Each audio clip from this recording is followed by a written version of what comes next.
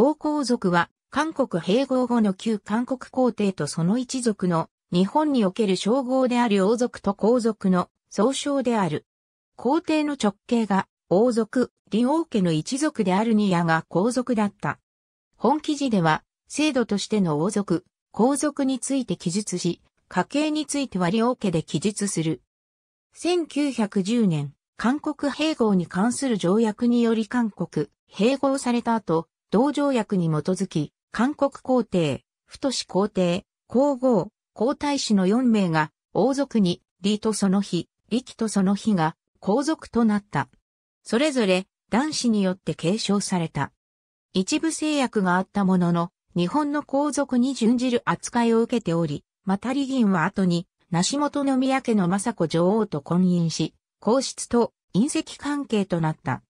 1926年12月1日に王皇下規範が交付され、細部の制度が確立されるとともに、皇族男子同様、旧日本陸軍または旧日本海軍エ部艦として任ぜられることが義務付けられた。1946年11月3日の日本国憲法の交付後、翌1947年5月2日の皇室令、及び付属法令廃止の件、5月3日の日本国憲法施行の再現に効力を有する命令の規定の効力等に関する法律によって、未来を創出した。1910年、韓国併合に関する条約により韓国、併合された後の大韓帝国皇室の扱いについて、同条約は以下のように定めた。日本国皇帝陛下派韓国皇帝陛下、太し皇帝陛下皇太子殿下並みそのの公費及び、公営をして書く、それの地位に応し相当、なる損傷遺言及び名誉を共有、せしめかつ、これを保持、するに十分なる歳費を供給、素壁古等訳、す、韓国併合に関する条約第三条当初、日本側は併合後の韓国皇帝及び太皇帝の称号としてヨーロッパのグランドデュークに倣って対抗を提示したが、韓国側の要望により、王、対応となった。8月29日、全韓国皇帝を殺して王と試す証書、李及び力を公と試すの証書が出され、李王家に対して皇族の礼と殿下の書を用いることが定められた。1911年2月1日には、利用職官制に基づき、宮内大臣の管轄下で、王皇族のやむを司る利用職が形状に置かれた。王皇族に年間150万円にも及ぶ歳費や不動産及び漁業権による収入の確保が図られた。1938年、靖国神社を参拝した王皇族左から利王銀、利健康、利公その後しばらくは、利王家の扱いは法的に定まっていなかったが、1916年に王政市利銀と梨本宮家の雅子女王の間に縁談が持ち上がり、利王家の法的関係を定める必要が生まれた。11月4日に、数密顧問官、伊藤美代寺を総裁とする提出制度審議会が設立され、折から問題となっていた皇室令改正と合わせて両家の問題も扱われることになった。審議の結果、王皇族制度は日韓併合条約とその後の証書に基づくこと、身分は皇族に準じ、親戚ではないことなどを基本とした王皇下規範案が作成された。しかし、枢密院では皇族と同じ扱いにすることへの異論が相次ぎ、なかなか定まらなかった。李銀と雅子女王の婚姻問題は1918年の皇室転換の造法という形で決着がついたが、王皇族の扱いについては持ち越された。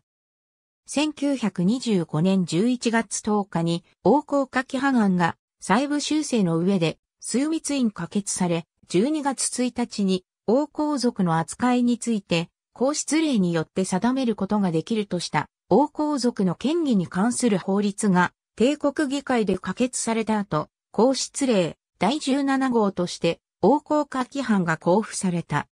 規範に基づき王皇族審議会が設置され、王皇族における皇族会議とほぼ同じ役割を果たした。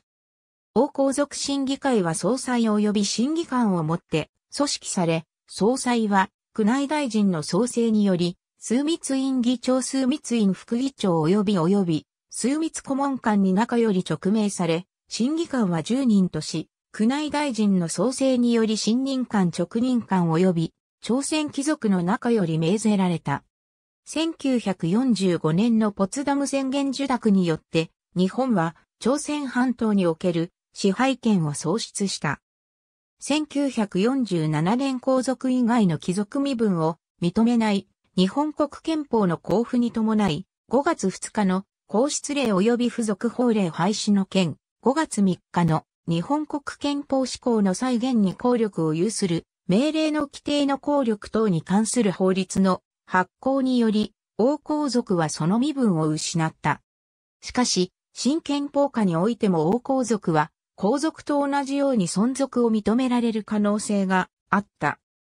臨時法制調査会の一員として、帝国憲法改正に伴う法制整備の調査を担当していた、萩原徹外務省条約局長は、王皇族を貴族と解釈するには、若干の疑問があると述べ、さらに、王皇族は皇族にしてしまうか、または皇族に準じた地位を与えても良いのではあるまいか、と考えていた。実際、昭和時代になると王皇族は、皇族とほぼ同一視され、李銀は軍隊において、他の皇族と同じように、宮様と呼ばれていた。それゆえ、新憲法交付により、身分を喪失したというよりも、外国人登録令の施行と同時に、一般の在日朝鮮人と同様に、外国人となり、合わせて身分を喪失したとする考え方もある。最後の皇帝であった準州は聖徳宮、李王、皇太子李議員は王政氏とされた。また、太子皇帝構想は徳寿宮、李太王とされた。王位は男子によって世襲されるものと定められ、李王の皇居により、王政氏の銀が李王家を承継して、聖徳宮、李王銀となった。また、構想の諸子の李と構想の兄の李記には、皇位が授けられた。李公家は2代、李紀公家は4代にわたり世襲された。韓国併合時に発せられた、作立証書によれば、太王、王、王政氏、公とそれらの日を王皇族とすると規定されていたが、その子を王皇族とする規定は存在しなかった。そのため両政氏銀と正子妃の間に誕生し、間もなく溶接したリッスムは、生前は王族ではなかった。ただし誕生と同時に発せられた王政史の継継に殿下の継承を要ひしむる証書によって特例として殿下の継承が認められた。王公家規範の制定に伴い、子も王皇族として認められることになった。皇宗の娘であった徳江もこれにより王族となった。また制定前に死去した李進も王族府に記載されたことで、訴求的に王族となった。王公家規範等により、ほぼ皇族と同等の各種の特権や義務が規定された。ただし行為や摂政職に就くことや、皇族会議への参加は認められない。また枢密院会議に反列する権利や、貴族院議員たる権利はなかった。王公家規範によると、王皇族は次のように分類される。王利家の当主、準州、林銀のみ、王妃王の妃、王の子王の子の配偶者太陽王が隠居したもの。高層のみ。太陽妃太陽の妃。太陽の子太陽の子の配偶者王の長子孫の系統にあるもの及びその子前期の配偶者上記のいずれかの子である女子皇、高層前皇帝ないしそれ以前よりの大官帝国皇族の傍系。皇妃皇の妃。皇の子皇の子の配偶者隠居した公隠居した公の配偶者隠居した公の、子隠居した公の子の配偶者公の長子孫の系統にあるもの及びその子前期の配偶者上記のいずれかの子である助手範囲は以下の順序である。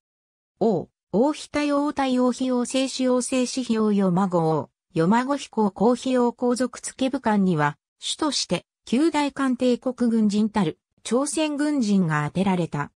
また、李王家と応急警護のために、朝鮮不評隊、朝鮮騎兵隊が置かれたが、1913年に朝鮮騎兵隊、1930年に朝鮮不評隊も廃止となる。